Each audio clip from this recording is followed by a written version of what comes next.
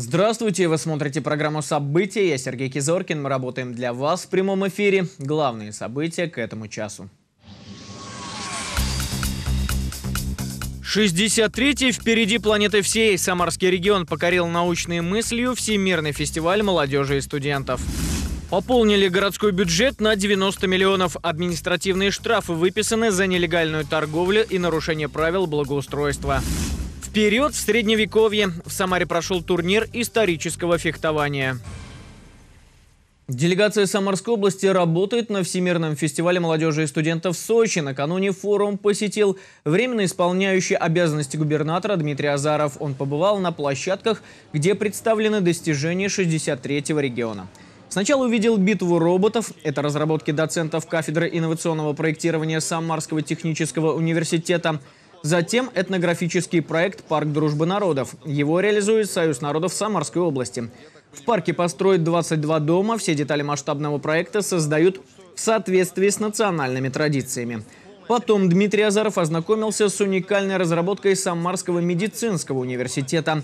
Интерактивный анатомический стол пирогов позволяет рассмотреть все органы и работу систем организма в разных проекциях. В мире такого еще нет. Глава региона отметил, данную инновацию необходимо продвигать по всей стране.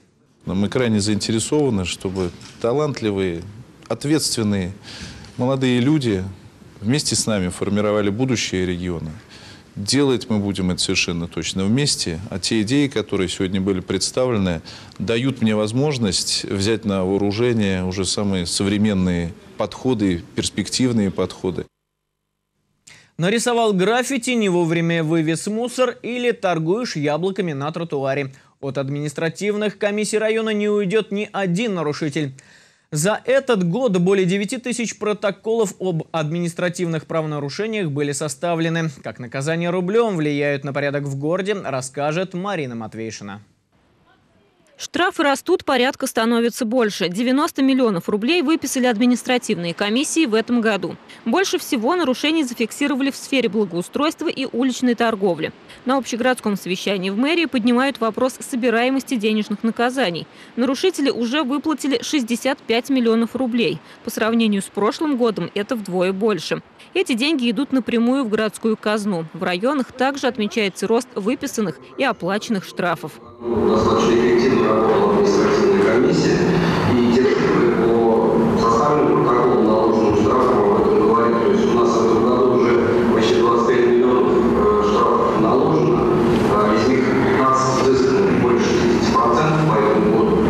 отдельных районах количество протоколов уменьшилось. Но произошло это не от того, что нарушений стало меньше, считают в городской администрации, а потому, что искать их нужно еще более внимательно. К концу года ситуацию подправить, выровнять. Здесь еще много что нужно в порядок приводить в районах и в городе. Поэтому давление снижать не нужно. Давайте продолжайте работать в этом направлении. Кроме поиска нарушителей и взыскания с них штрафов, важно следить за решением проблем, отмечает глава города. Главная цель не столько наполнение бюджета за счет штрафов, сколько восстановленный порядок на самарских улицах. Марина Матвеевна, Василий Колдашов. События. Далее коротко о других событиях дня.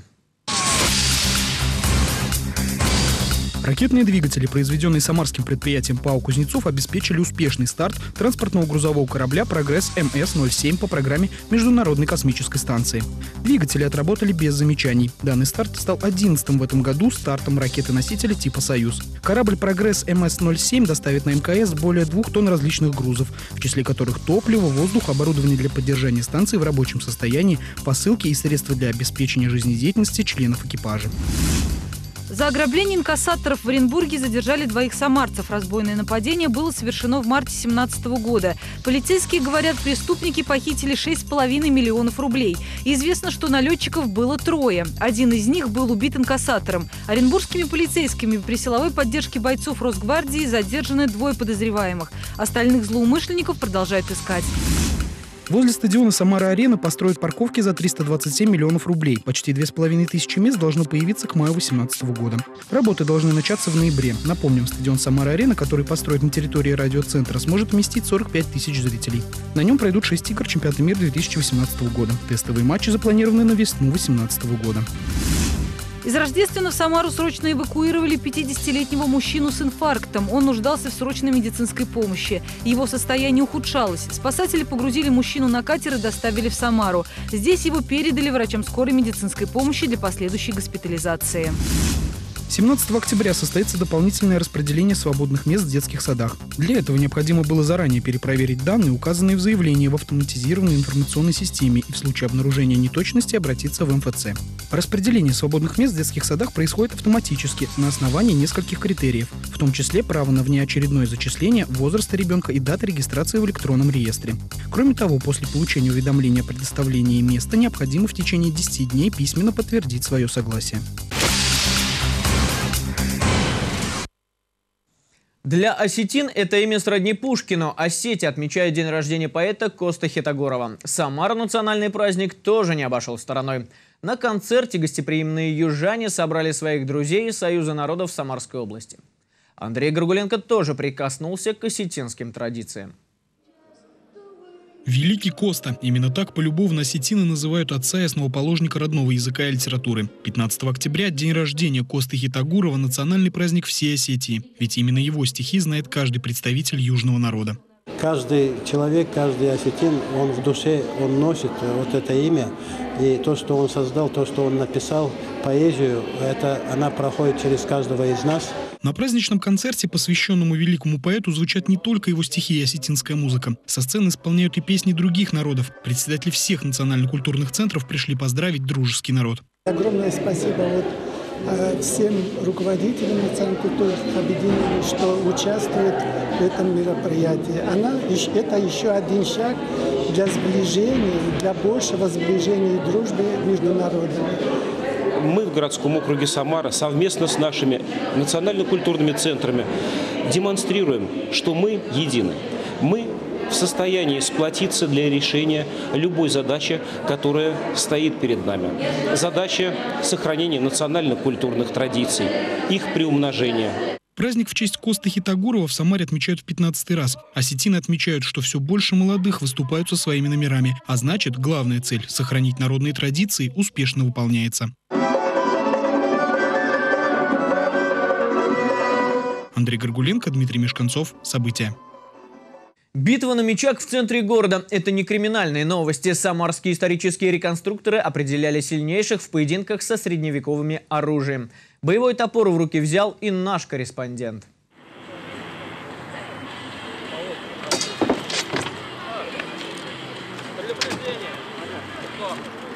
Бойцы двигаются ловко, быстро и проворно, словно они не одеты в 10-килограммовые доспехи, а в руках игрушечные мечи. Но все по-настоящему. Тяжелые удары и точные уколы.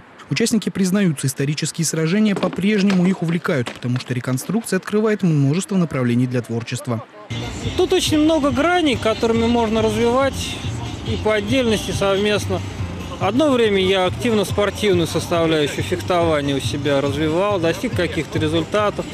Теперь мне стало интересно, скажем, ремесленная составляющая. На фестивале я в основном а, представляюсь как кузнец, как мастер-ремесленник. Самарские исторические реконструкторы каждый год собираются на межсезонный турнир, чтобы потягаться друг с другом, помериться силами и выявить лучших по обращению с мечом и копьем, а заодно и зрителям показать красоту средневековой боевой одежды и оружия. Подобные фестивали, они э, своей целью ставят э, популяризацию э, историю, историю России, э, историю Европы, историю степи. То есть, э, по большому счету, это история собственно, нашей страны и ее соседей. Пока профессионалы выявляют сильнейших на ресталище, я тоже решил проверить свои силы в историческом бою. Андрей Горгуленко, Дмитрий Мешканцов. События. Парад памяти пройдет в Самаре 7 ноября. В этом году он будет особенно максимально приближенным к параду 41-го. Преддверии большого патриотического праздника в школах проходят тематические классные часы. Лариса Шалафаст об исторической памяти.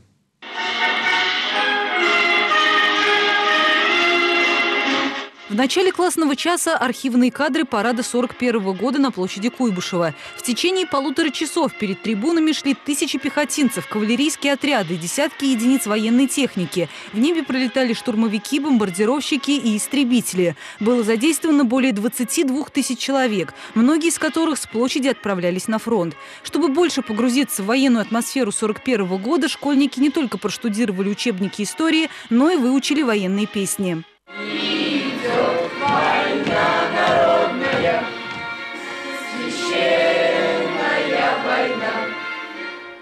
Все время говорим о патриотизме. И постоянно внушается мысль о том, что любить Родину – это не значит целовать березку. Да, это все-таки что-то надо делать для своей Родины. Начинаем с того, что изучаем страницы истории, гордимся подвигами предков. Тематические классные часы, посвященные памяти парада 7 ноября 1941 года, будут проходить в самарских школах в течение двух недель. Лариса Шлафас, Дмитрий Мешканцов. События. А вот о чем мои коллеги расскажут в следующих выпусках. Вернем Самаре цветные фасады. Волонтеры Том Сойерфеста покрасили Молодогвардейскую. Украсть через интернет. Самарские полицейские задержали кибермошенников. Три концерта Мариинского театра. В Самаре проходит юбилейный десятый музыкальный фестиваль Мстиславу Ростроповичу. На этом наш выпуск завершен. Мы рады вам сообщить, что у нас уже 14 миллионов просмотров на YouTube. Читайте нас в Твиттере, смотрите на экранах своих смартфонов и планшетов на базе Android и iOS. Благополучия вам и будьте участниками только хороших событий.